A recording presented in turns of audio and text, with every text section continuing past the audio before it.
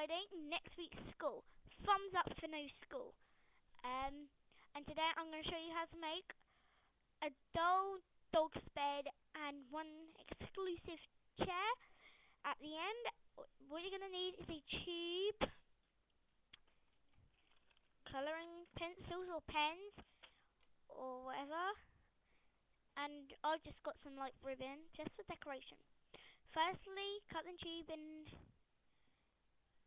quarter, so leave a quarter of the tube, like this. So, and I've left all this.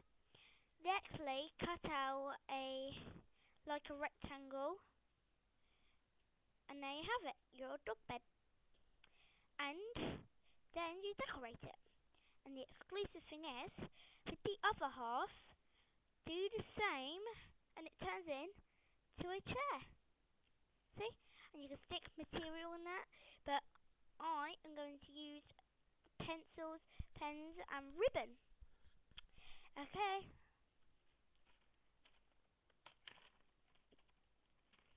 Okay, I'm going to decorate mine now with pencils and pens and everything like that. So I want mine to look really, really, really, really, really, really cool. So absolutely like, like, just like. You can also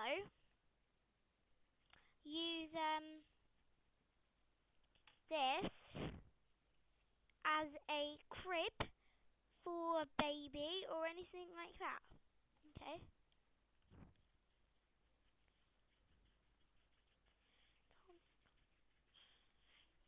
After you've done that, you're done. Happy crafting!